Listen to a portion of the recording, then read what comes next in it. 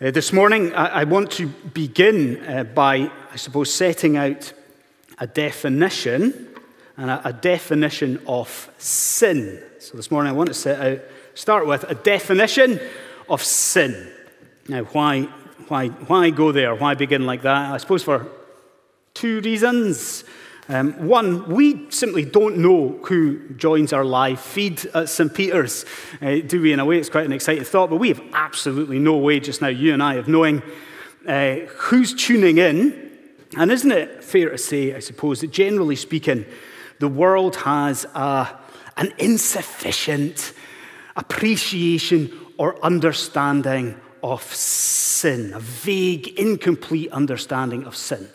Certainly, that's the case with some of my, let's say, unbelieving friends. You know, if we talk to them and to ask them, what's sin? What is sin? The answers would be vague, grey, incomplete. What's sin? I would get answers like, well, sin's stuff to do with maybe sex outside of marriage from a Christian perspective. That's kind of sin. Or sin, ah, sin, gross acts of violence. You know, my friends would come back to me with sin is murder. That's it. Leave it there. You see, it's incomplete, it's vague. So that's one reason to begin here. There's another reason, too, because quite simply, is it not quite good for us, for you and me, to be reminded of our fallen nature? To be reminded about sin? Yes, it is absolutely humbling for you and I to think about it, but it's also a really helpful thing for the people of God for us to be face to face confronted with our fallen nature, what this is that we do, who we are as sinners. It can be helpful for you and helpful for me. So, you ready? This is the definition of sin. Now, I'm tempted to sing it. I'm tempted to sing it because my children know a very cheesy song that includes this definition. Shall I sing it? No, don't worry. I will not put you through that, good people. No. Uh, this is the definition. This is uh, Westminster Con- uh, Shorter Catechism, question 14. Some of you probably know it. Let's see if we can get it. What is sin? Please hear it.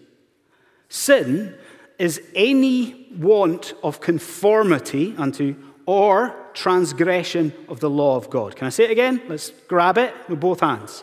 Sin. What's sin?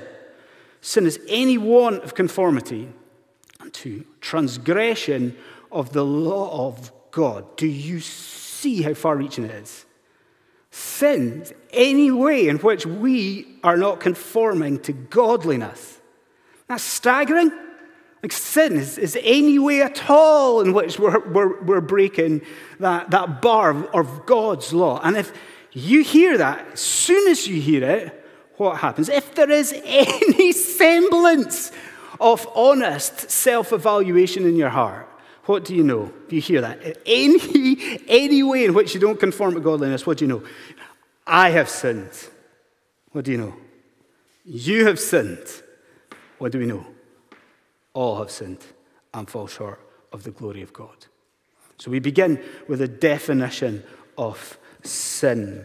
But ultimately, why why, why go there? Why begin there? Because this morning, after a little bit of a break, we're coming back today to our sermon series. This brilliant Old Testament book of Joshua.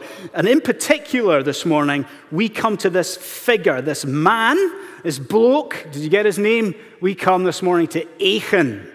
Achan. And as we do this, I think what happened, a couple of things will happen. First, what Scripture will do is really reveal to us, show to us the gravity of sin. Doesn't that already stand out to you in this chapter? We'll see here the severity, the seriousness of the sin that is flowing through our lives and that we take all too often, way too lightly. It's the first thing that'll happen. The second thing I think that'll happen is that we will be at St. Peter's this morning by this text given reason to rejoice. Even here, and isn't it a dark portion of Scripture in a sense? Isn't it? But even here, we'll be given reason to rejoice as we can reflect on the rescue from sin that you know, Christian friend, that I know, all in the Lord Jesus Christ. So, if you haven't already, let's make sure that we've got a copy of Scripture in front of us, let's have Joshua chapter 7 open. And let's notice together, first of all, excuse me, that sin brings consequences for the community. Do you get it? Sin brings consequences for the community.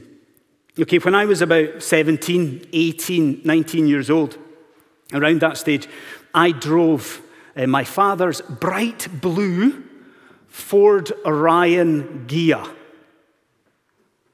And I drove it into a lamppost. It was not a good day. It was not a good morning, I tell you that. If you've ever driven a 1980s Ford, you know they can be stubborn beasts to get going. But it coughed and it spluttered. But eventually we got some momentum, as a young man behind a wheel of a car tends to do. Got up some momentum, and then I have no idea what happened, probably not concentrating. And all of a sudden, you know, Andy meets lamppost and we grind to an abrupt halt. Okay, that's me in the Ford Orion. In a sense, though, isn't that what's happening today with the people of Israel and the conquest of the land? You think about it for a moment. If you think back to Genesis, the people have been given a gift from their father, not the keys to a car. But they've been given the promise of a land. And you're with me when I say that it's taken a little while for that to get going. You know, we've had the coughing of Egypt, had the spluttering of the wilderness wanderings. But wait a minute, as you and I, over the last few weeks, have kind of got into Joshua, are you with me that momentum has kind of been built up in this conquest of Canaan, hasn't it? I mean, we crossed the Jordan, didn't we? And what we saw the taking of Jericho. What happens today? In this very peculiar defeat in a place called Ai. I, Ai, don't know. Let's go for Ai. A place called Ai, this defeat, the conquest grinds to a halt. The people of Israel, they hit a lamppost. Now, let's ask what and then why. So, what happens? Would you look with me to verse 2? Let's all look at this. Look at verse 2 with me. So after, do you see it? After the success of Jericho, the people of Israel, they want to carry on this conquest. So their plan, let's get the plan right. Their plan is to move on through the center of the land to take this place called Ai, which was incredibly strategic for the conquest because it was up in the hill country, but doesn't kind of go according to plan, does it? Despite not facing a particularly formidable foe, the people of Israel are routed. Now, you could say to me, Andy, look at the big picture here. You know, there's only 36 people. Out of all of Israel, only 36 people are killed. But do you see it? Look at the end of verse 5 here. Look at how it leaves them. Like they are bewildered. They're feeling the shame of their, their enemies. They're confused. Look at the phrase, though. That's got to ring bells for St. Peter's. Does it look? They melt away. Do you remember? That's the expression that's supposed to be used for the enemies of God. You see, this is a catastrophe here. So that's what happens. Why? Now, let me just take a little breath. Let me put this to you. Don't shout out your answers. But why are they defeated at Ai? Why? Like, what, what's your solution? What's your answer to that? Do you go along the line that so many people seem to go down that the people here are just simply too presumptuous? You know, uh, the ark isn't specified going up with them to Ai. Joshua doesn't even seem to go up with them to Ai. They don't seem to be crying out in prayer. They're just too presumptuous. Is that the conclusion? Is that what we say? Well, look at verse 1, because verse 1 gives you the answer. Look at this. Why are they defeated? The reason for the defeat, listen carefully, is the sin of Achan himself. That's why the chapter begins this way. The reason the defeat is the sin of one man. Now, do you notice what he does? He steals some of the devoted things. You can remember back to Jericho, can you? The herem, Do you remember the stuff, the, the, the, good stuff that was meant to be given over to God? Achan steals it in verse 1. This causes God's anger to blaze, to burn against whom? Against all of the people. Let's make sure we get it right. Why is Israel defeated? Why did they hit this lamppost? Because one of their number has sinned and sinned against the Lord God. Now, we have to apply this, of course, and I think, quite honestly, that lesson should be really clear for, for all of us as Christians, but I would be interested to at least see your response through your masks. See, I think the, the lesson that we've got here is that our individual sin, our personal sin, can genuinely have grave consequences for the other people in our lives.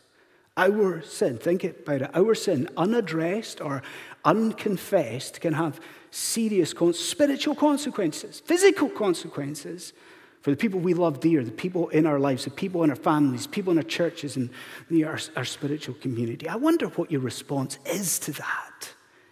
I really do. Because you know as well as I do, we live in the most individualistic society, don't we?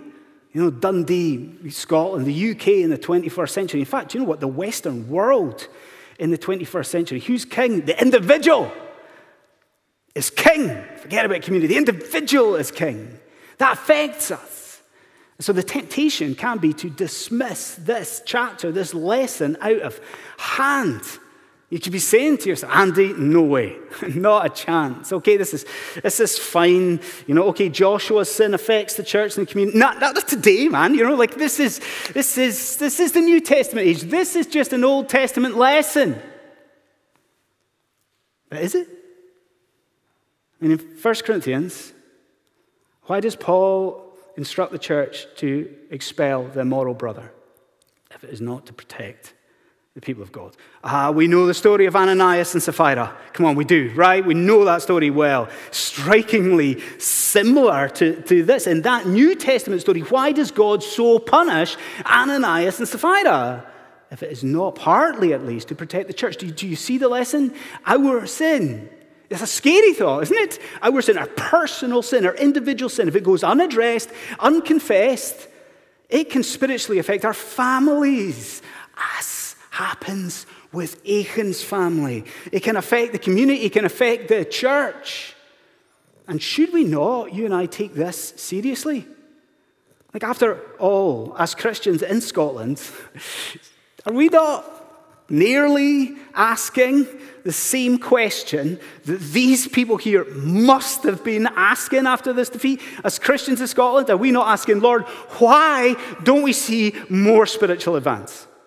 Are we not asking that? Why are we seemingly, as a, as a church, as, why are we hitting a lamppost? Why are we not enjoying more victories in G, for Jesus in Dundee? Well, could it be part of the answer is that our sin, unconfessed, unaddressed, is contributing to our lack of success? Second thing we see here is that sin requires wrestling with God. Sin requires sincere wrestling with God. Um, what, what, do you bring to church each week? What do you bring with you uh, to church? As you're leaving the house, you gather stuff together. In addition to your family or who you go with, what stuff do you bring with you? Probably most of us take some way of accessing a copy of Scripture, I would hope, either on your phone or something, or, or a Bible. Um, we do that. Others take uh, a notebook, maybe, take notes or to draw a picture of the preacher. that, that could be it. Most of us will take a mask to church, right? We, we, we, we do that as well. I want to suggest this morning, I want to suggest something else. As we go through, as a church, as we go through books of the Bible like Joshua, I want to suggest that what you do as you leave the house is you open your back pocket and you put firmly in your back pocket 1 Corinthians 10, verse 11. And I will tell you why that is. Why is that important to take? Because there we learn something absolutely amazing. it's a mind blowing verse. There we learn that the events, listen to this, the events surrounding the land, you know, the, the Pentateuch into Joshua, the events surrounding the land, there Paul tells us those things happen. Wait for this. Those things happen for us. Isn't that amazing reality? Think about how privileged we are this side of the cross. That these things that we're learning about, you know, you go back to Deuteronomy and Numbers, these things we learn about, they happen for our edification. They happened for our instruction. They happened as examples for you. Isn't that not amazing how privileged we are? Now, nowhere in this chapter, I think, is this more relevant for us than in how Joshua responds to this defeat. So, you with me? I want you to think about, and I want you to notice how Joshua responds to this defeat at Ai. So, can I ask you all to find verse 6? Let's look to verse 6. If we got verse 6, now, before you read it, just find it. Before you read it, remember this critical detail. Joshua doesn't know about Achan. Is everybody with me? This point in time at verse 6, Joshua doesn't know about Achan. Yes, he knows that God is displeased. Yes, Joshua knows it's about sin, some sort of sin. Of course, it, it must be, but Joshua doesn't know the specifics.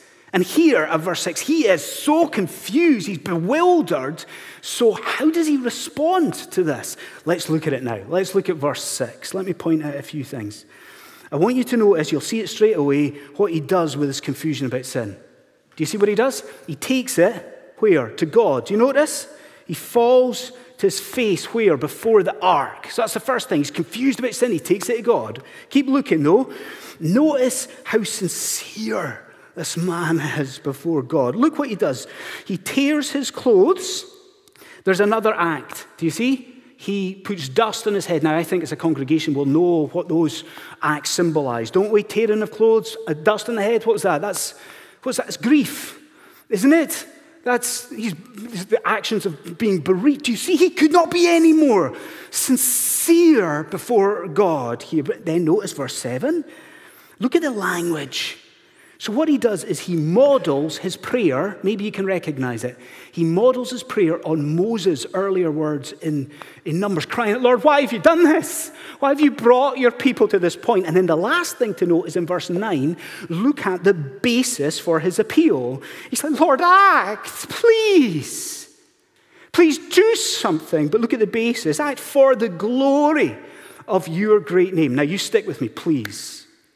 I sincerely believe that the contours of that prayer from Joshua, the contours of his response, should, could, should find their way into our devotional lives even this week. Did you hear it? The contours of that prayer should find their way into our devotional lives this week. Because let's call a spade a spade. It's not just as Christians in Scotland. It's not just corporately that some of us are despairing or confused about a lack of spiritual advance, is it? I think it's probably the case in the room for some of us. Individually, it is true. That individually, spiritually, although it is not the case, it feels as though we have hit a lamppost. Like some of us, you know, spiritually, we can look back on great, exciting times of growth. Can you do that as a Christian? I'm sure you can. You look back in times where you were growing in knowledge and you were thriving, and let's be frank about it, you were rejoicing, and there was genuine joy in Jesus Christ. You were growing, you knew it, you were advancing. But for some in the room, some of us, we just feel as though we're just looking back on that. And at the moment, there just doesn't seem to be that spiritual advance. And let's be frank about it as well. Is that, if you're in that situation, is it not very often just plain confusing? Like we're not moving forward as we want to do or think we ought to be, but we just don't know why. Yes, like here, we know uh, it must be about sin in our lives. This is what the hindrance is, the obstacle is. But what does sin do? Sin hides itself from us. Sin deceives us, we're left confused. So, should we not do as Joshua does here? Should we not, even this week, cry out to God in sincere, biblically rooted, God honoring prayer? Because, after all, did you not see what happens in verse 10? In verse 10, God answers his prayer. In verse 10, not only does God reveal to Joshua the sin that needs to be addressed, but God even reveals how it is to be addressed. Isn't it marvelous? So I suggest to you what we do is we go out of the room, we go home, we go in our back pocket. This week we take out 1 Corinthians 10, verse 11. But remember this we learn from this example, and in our confusing stagnation, apparent stagnation, we cry out to God. So sin, sin, brings consequences for the community. Sin also requires wrestling with God. But thirdly, sin necessitates a savior and a savior from God. I was listening to uh, a sermon a couple of weeks ago about 10 days ago, and it was a sermon. I just picked it out of the blue, as you sometimes do. And it was a sermon um, on Noah um, and the flood. I'm sure you know the story. Uh, a sermon on Noah. And at the end of the sermon, the preacher did something really interesting. The preacher uh, listed what he could see as uh, parallels between Adam in the garden and Noah and the situation. Everybody got me? So, parallels between Adam in the garden and Noah. Okay, parallels. Now, I'm going to just mention a couple. It seems like I'm way off on a tangent, doesn't it? But we'll, we'll bring it uh, back round in, in a moment. So, Adam and Noah, you can see some parallels, can you? Both men, Adam and Noah, worked the ground, did they? Adam, the gardener, Noah, farmer. Adam and Noah both were fathers of three named sons, deliberately pointed out to us. See, obvious one. Obvious one. Both Adam and Noah were almost, almost like figureheads at the beginning of a new chapter for humanity, weren't they? So, Adam, obviously, with creation, Noah after the flood. What does everybody know? What's, what's the big one? Adam, both Adam and Noah fell into sin. Wait, though. Isn't it interesting to consider that both Adam and Noah were enticed by fruit? Um, Adam, the, the fruit of the tree, Noah, fruit of the vine. Both Adam and Noah fall into and know the shame of nakedness. Adam and Eve, of course, in the garden, and Noah exposed before his son. Do, do, you see? You have this deliberate parallel, don't you? Deliberate parallels. You have two men. You've got Adam, you've got Noah. The beginning of this new chapter with God, and both of these men bringing sin, bringing corruption, and bringing it to others. Now, it does, of course, it seems like I'm a way off on a parallel, uh, on a tangent here, but is there not something similar here? Now, you think about this chapter. What's God doing at this point? This point we've got to. God's revealed there is a specific sin, hasn't He? And what begins is this massive game of, it's almost like guess who? Do we know?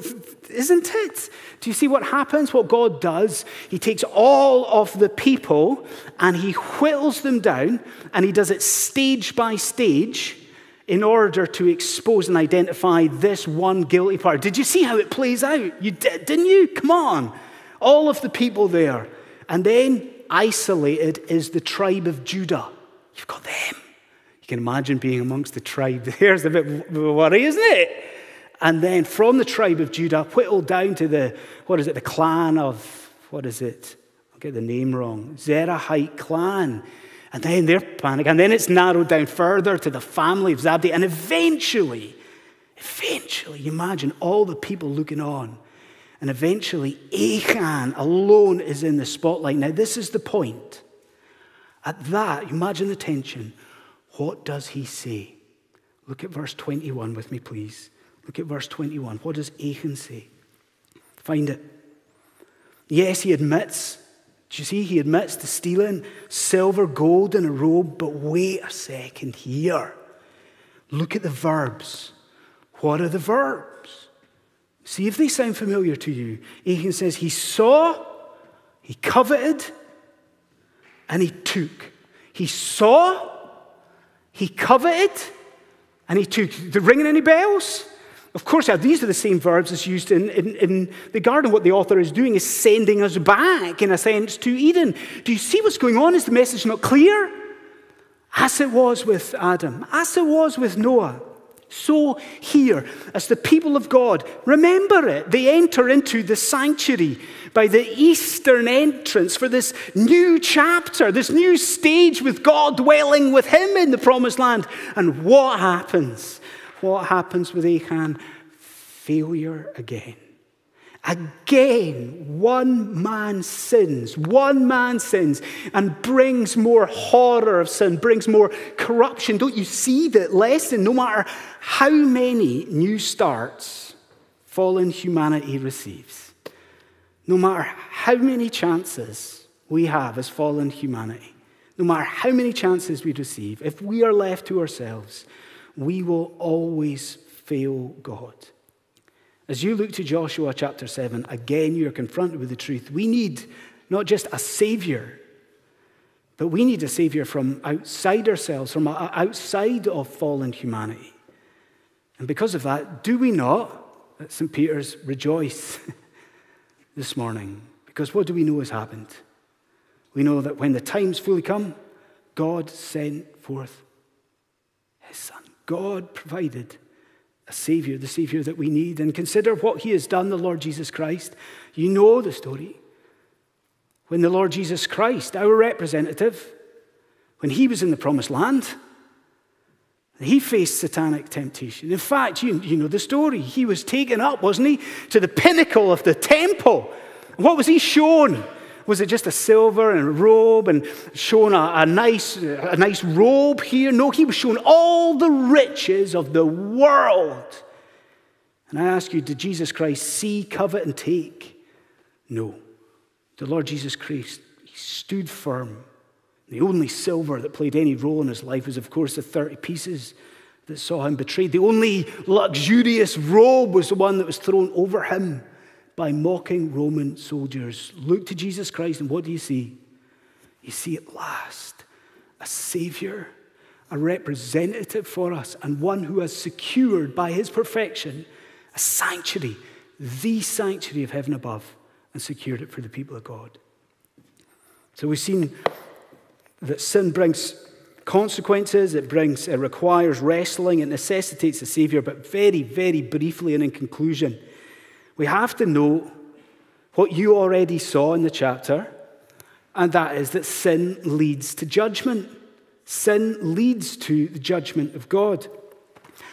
I may be on my own with this and I'm going to embarrass myself. It's one of those things where you sort of you confess your sin as you stand in front of the congregation. And then there's blank looks and you realize that maybe it's just you. Um, but when it comes to reading a large portion of God's word, that's when I'm acutely aware of my limitations. Do you know, at least please tell me you know what I'm talking about. But in devotional reading, you know, you read a couple, of, a couple of chapters of scripture, and you kind of, if you're like me, you can't take it all in. And sometimes it's, it's one theme that sticks with you throughout the days, one part, one element of it that God, you hope, lays it upon your heart. You chew over it. You can't take it all, and there's one abiding impression if you're in a big portion of Scripture. Maybe it's just me. If you are like me, and if you have one abiding impression of Joshua chapter 7, is it not the majestic, pristine holiness of the God that we profess and worship at St. Peter's? Is that not the abiding impression you have of this chapter? His holiness. He's the maker and creator and sustainer of all things. And think about the lengths that he goes to to identify Achan. I mean, he must be concerned for sin, right? And then you, you, you think about this as well the fact that he will allow his people to be shamed by their enemies, all in order to expose and have this sin dealt with. Or even this. I mean, the fact that God would give over such a long part of his word here to this, is it apparently insignificant moment where somebody steals a coat? You see, God, the holiness of God.